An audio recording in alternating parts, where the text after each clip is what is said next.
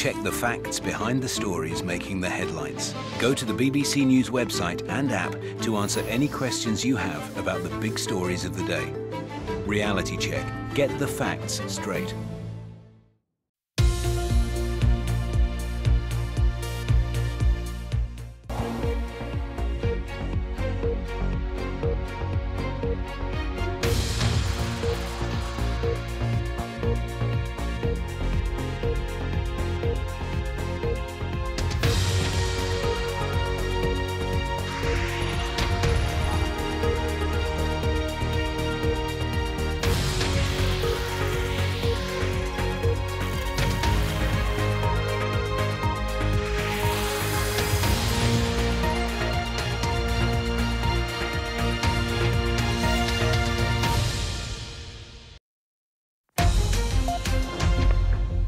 Hello, this is Impact. I'm Nancy Kacungira.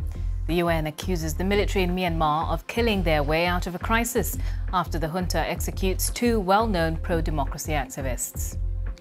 We'll be hearing from the Minister of Human Rights of the Myanmar Government of National Unity. Pope Francis is in Canada, where he's expected to apologize for the abuse and cultural genocide inflicted on Indigenous children at Catholic schools.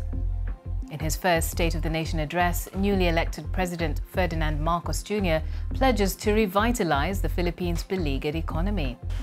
And as firefighters in California struggle to contain another huge wildfire, the US considers declaring a national climate emergency. All of that's coming up here on Impact.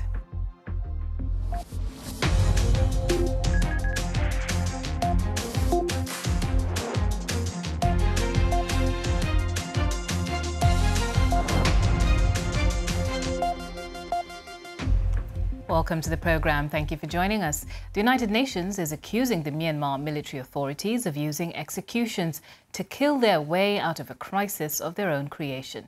State media said two men, both well-known pro-democracy figures, were put to death, along with two others. Kyaw Min Yu, who you can see here on the left, was also known as Ko Jimmy, and he was a long-time political activist. Phyo Zeya Thaw was a hip-hop artist who'd been working as an elected lawmaker before the coup which overthrew the elected government last year. The UN says Myanmar's military has killed more than 2,000 people since it seized power, and 30 of them, 30% of them have died in custody.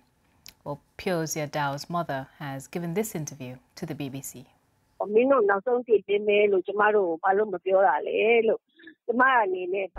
I want to arrange a funeral plan according to traditional customs. I have to know what day and how the execution was carried out. I asked the prison authorities to return his body or his ashes, but they only said the execution was carried out over the weekend.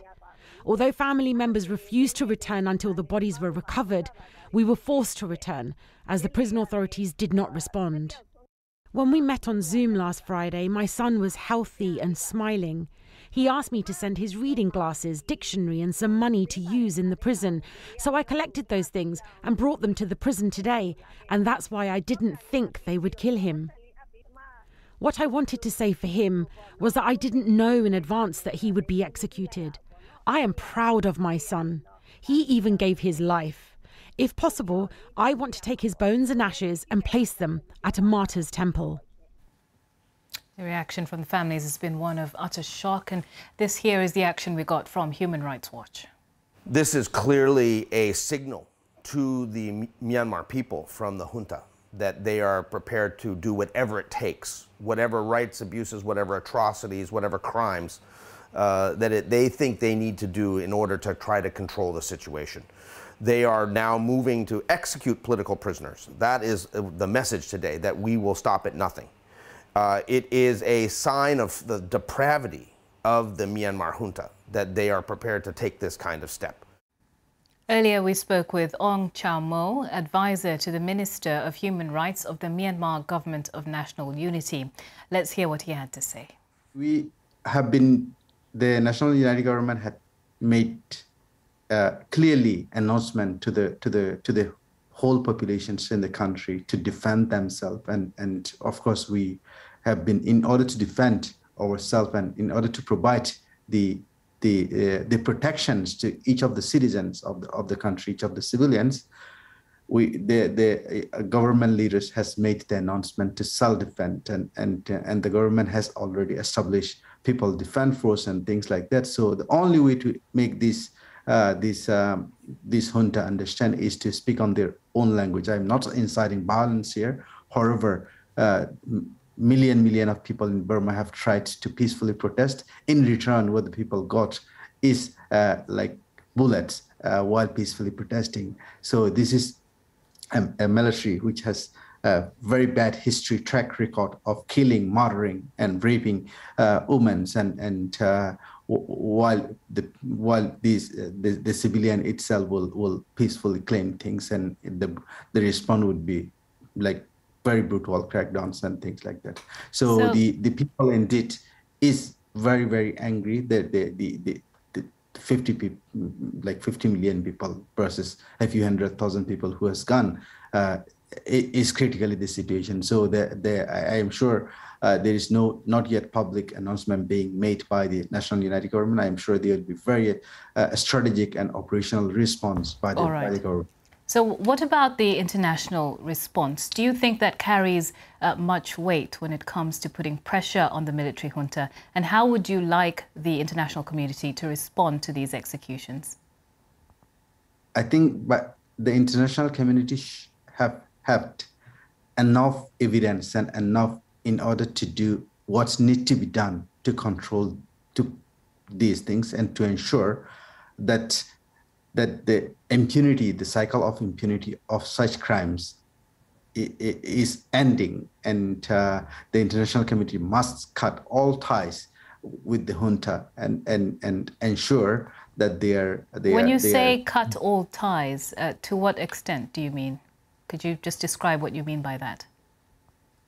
Mean that any relationship, these are the guys, the, the, the junta leaders are the guys who has very fresh blood as I mentioned, from genocides and from crimes against humanity, all sorts of international uh, uh, international crimes. They have they have been continuously committing against its own people, and international community still, like various countries around the world, are indirectly or directly engaging with the junta in it diplomatically or in, in, in economically and and in of course a country cannot stand alone uh, like like they, they have territorial control for the moment compared to our government, like the government of the people that has the legitimacy uh, due to the fact that they have the control over the over the military equipment and military personnel of the country. So indeed, in order to but the, what they couldn't control is the people's mindsets and people mentality to rule those people, and they couldn't fully act as a government, and they will never be, and the people of Burma will not let. So international community must support uh, the people of Myanmar in order to put the country to the path of democracy and to ensure this this country is has truly principle on the principle of democracy, federal democracy, where, where it is. Uh, it's okay. treat everyone in the country fairly, and uh, if the international community cannot support the the the the uh, the um, Burmese people, uh, later on, uh, there would be not much to do for international community to, to bring back the country to, to, to the path, path of democracy. Speaking to us from an undisclosed location and in exile, that was Aung Kyaw Moe from the Unity National Government. Now, Pope Francis will visit a former residential school in Canada later today, where he's expected to make an historic personal apology to Indigenous survivors of abuse. It's believed more than 150,000 children were taken from their families and mistreated in Catholic run institutions. But the detail and extent of the pontiff's apology is proving controversial, as Mark Lobel reports. Preparing to confront his flock's terrible past in Canada. But not everyone appears as pleased as Canada's Governor General, seen here welcoming the pontiff with the Pope's agenda this week. And that's a part of the problem we've had with the church is that they have not been really including us in the proper planning of this process. On Canadian soil last year, the remains of 215 children were found at this former residential school in British Columbia, closed in 1978 after forcibly assimilating Indigenous youth. In all, more than 150,000 Indigenous children were subjected to abuse, malnutrition, rape, and death at similar schools, around 70% of which were run by the Catholic Church. A government backed Truth and Reconciliation Commission attempted to assess the damage by speaking to around 7,000 former students. This was the darkest, saddest, most unknown chapter in Canadian history. So it took us those six years to hear directly from the students their stories of the lived experience in those schools. Many of them wanted to hear an apology, but words are one thing. I actually coined a new word, I think, when I said it's about reconciliation. There was this apology to Indigenous Canadians from the Pope in April at the Vatican. I join Canadian brothers, bishops, in apologising. Many now hope he will expand on those historic remarks whilst visiting Canada. This week, the 85 year old plans numerous public events and private meetings, including a visit on Monday to the site of a former residential school in Maskwacis in Western Canada, where he will meet Chief Littlechild. Every kind of abuse that was talked about, whether it was physical, mental, cultural, spiritual, sexual, I went through all of that as a child. But it's going to take both of us working together on a path towards reconciliation to make life better for the survivors right now. To help heal the pain, some survivors and Indigenous leaders are calling for financial compensation, the release of school records, and support for extraditing an accused abuser. The Pope says the spirit of this trip is one of penance. It is also a test of his health and of how well he can mend old wounds. Mark Lobel, BBC News. Stay with us on Impact. Still to come, old faces are back on the street for one last time as Neighbours shuts its doors after more than 35 years.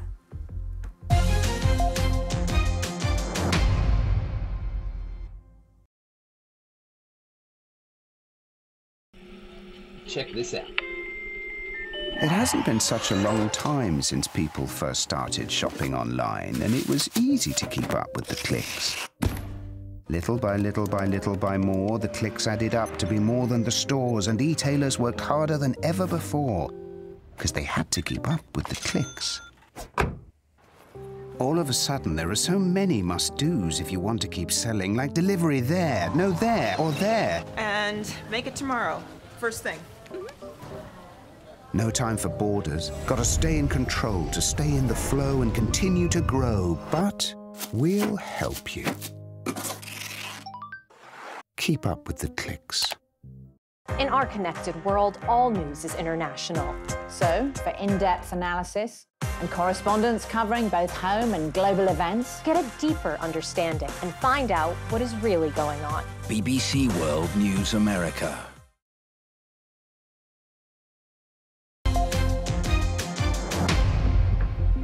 You're watching Impact on BBC World News. The newly elected president of the Philippines, Ferdinand Marcos Jr., has pledged to revitalize his country's beleaguered economy in his first State of the Nation address. Let's hear what he had to say. We live in difficult times, brought about by some forces of our own making, but certainly also by forces that are beyond our control. But we have, and we will continue to find solutions. And these are some of them. In terms of the economy, we will implement a sound fiscal management. Tax administration reforms will be in place to increase revenue collection. Expenditure priorities will be realigned and spending efficiency will be improved so that's the new president speaking there. He's the son of the late Philippine, Philippine dictator Ferdinand Marcos, and he won a landslide election in May after promising to invest heavily in new infrastructure and tackle climate change. His critics accuse him of whitewashing his father's legacy, ignoring the thousands who were tortured and killed during the decades of Marcos' rule. Lian Buan is a reporter for the online news site Rappler it's a very radical change of tune from his predecessor, President Rodrigo Duterte. There were no curses, there were no threats, and there were no um, stunning pronouncements. But also notable, there was no mention of human rights at all. Remember that his predecessor is leaving a bloody legacy of 27,000 suspects killed in his campaign against drugs and another 500 in killed lawyers, politicians, and activists and it is being investigated by the International Criminal Court. So the non-mention of human rights and killings and accountability and impunity is very disappointing to the human rights community, both here and abroad. And I mean, from this speech, how much sense did you get of how much space there will be for dissent or for disagreeing with the president? Because there was very tight security around this address, despite the fact that he won a landslide victory and therefore should be quite popular. Yes, another non another one that was excluded from the speech is there was no mention at all about the peace talks, about free speech, about any other um, democratic values. And as you mentioned, there was a very a tight security around the speech. It was a very rare, huge deployment of uh, the uniformed personnel there was a very rare declaration of a no protest zone um, in the thoroughfare where um, the, the protests have been traditionally uh, held year in and year out. And on top of that, the House of Representatives banned the wearing of dresses and suits that contain any political message, which is also, you know, a very honored tradition uh, for this event every year. And Lian, how would you describe the mood in the country now? The president has called for unity. Does it feel like the country is rallying behind him? I think uh, we are still in a buffer or a honeymoon period for the new president. We have seen a very different side of President Marcos that we didn't see during the campaign. And it was actually the um, most common used criticism against him during the campaign that he did not mention any policy. In this speech, he mentioned very concrete policies, actually very specific targets, but very, um, very central to the economy. And some are saying that uh, it is very predictable for the president to mention economic goals, especially we're in a pandemic. So they were looking for more um, policies towards the human rights area. And of course, uh, uh, um, I'm sure the international community is also waiting for any stance on whether where the Philippines would place in the United States and China conflict. But he made very vague um, um, pronouncements towards that also. Lian Buan is a reporter for the online news site Rappler. Now, let's head over to the US, where thousands of people in central California have been told to prepare to leave their homes as a wildfire near the Yosemite National Park continues to burn out of control. The state's worst fire so far this year is spreading rapidly, with nearly 60 square kilometers now ablaze. It's already forced more than 6,000 people from their homes. Here's more from our correspondent, James Clayton. These fires are hungry, fast moving, and totally out of control. Firefighters here say the Oak fire is 0% contained. 3,000 people have been forced to leave their homes. In the nearby town of Mariposa, a school is being used to house evacuated residents. This man is sleeping on the floor. It's so warm, he says, he doesn't need a tent. Classrooms like these have been turned into temporary shelter. Many of the people here have been here for three days already, and they say they simply don't know how long they'll have to stay here for. Joy moved to her new house during the pandemic to get out of the city. She watched on in horror as the blaze approached her house. I could see the flames. It was billowing. It was real. It was like, I don't have time to think about this. Just gotta move and move fast. And, and have you heard about what's happened to your house yet? No, I don't know. Just hoping I have something to go back to. Taylor is 10 years old and was visiting her grandmother when the fire forced them to flee. It was very scary. And what's it been like living here? No, very not comfortable. At a community meeting, local residents had questions. Just Wondering, are we talking days, weeks? What are we thinking about being able to go back home? Questions the authorities here simply can't answer. As soon as we can, we will definitely um, get you guys back With the fire raging and moving unpredictably, it's possible many will be stuck here indefinitely, wondering if they have anything to go back to. James Clayton, BBC News, Mariposa County, California. Tunisians vote today in a referendum on a new constitution, which, if it's approved, will concentrate power in the hands of President Kais Saied. It's the country where the Arab Spring first began more than a decade ago, and now there are real fears that the uprising's most notable success story is about to slip back into a dictatorship. Our Middle East correspondent Anna Foster reports from the capital, Tunis.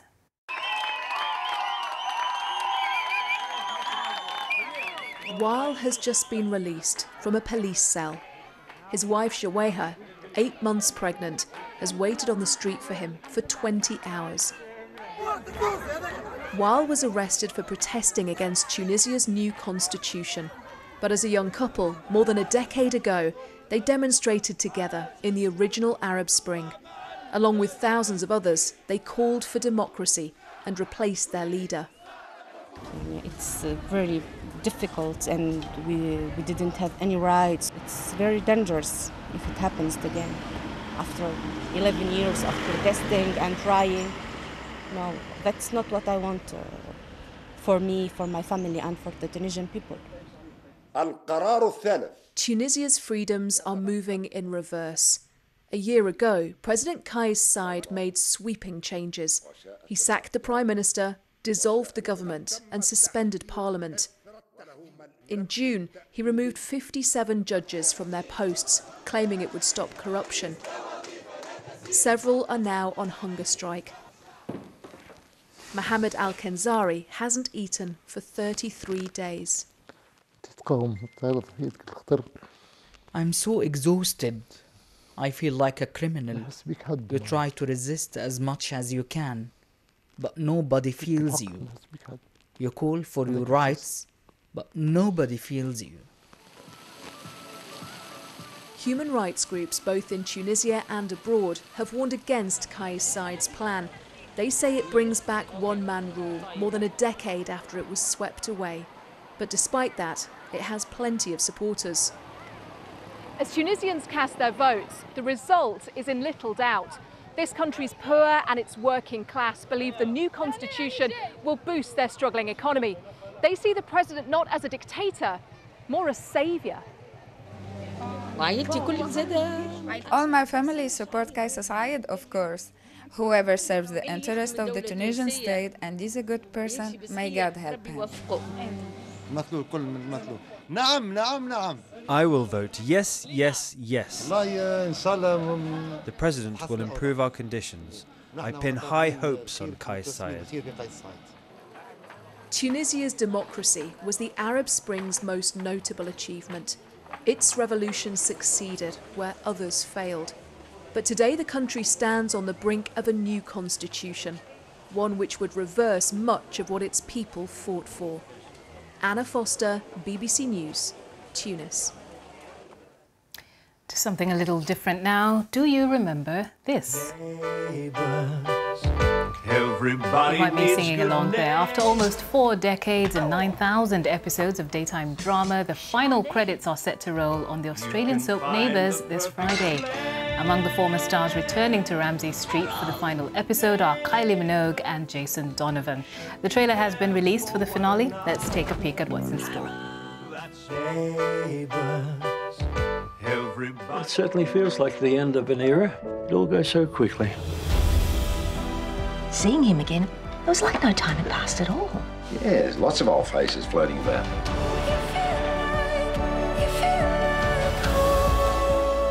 Do you think Terese still loves me? Your story, my story. I wanted a reason to come back. The street is not going to be the same without you. This is going to be a great new start. Where are you moving to? I don't really know. We might be leaving the street, but we're always going to be in each other's lives. Always. Neighbours scriptwriter Megan Herbert told me why the show she thinks the show's been so popular internationally. I think, of course, there is the uh, sunny, happy neighbours that everybody sort of grew to to love and and turn to as a comfort. But I think that also the thing that Neighbours did really well, apart from the kind of high soap, they also did really good suburban drama. And that's what people return to, I think, time after time, and and smaller stories, humour stories. Um, I think that was the thing that really uh, created the love for the characters and the show.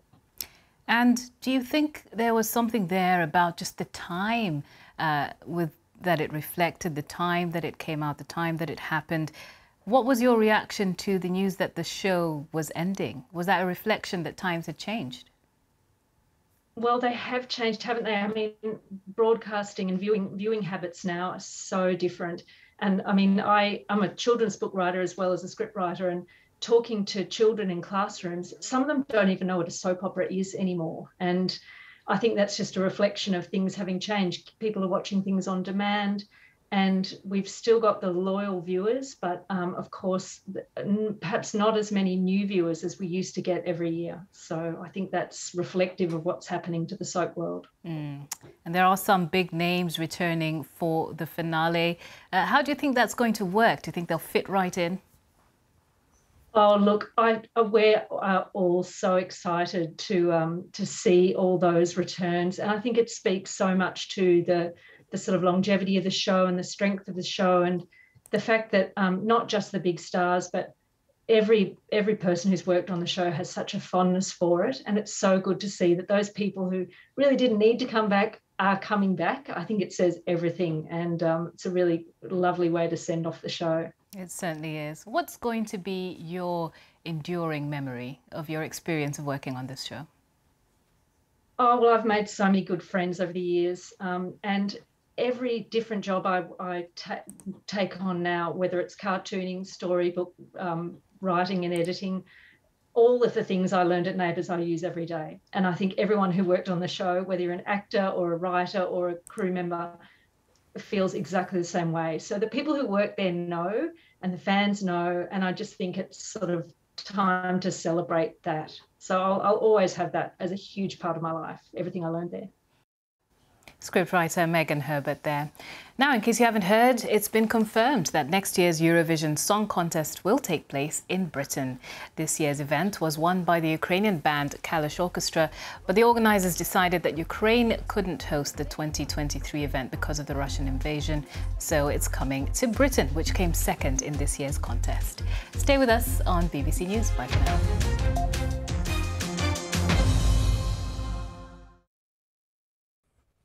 Hello, over the last couple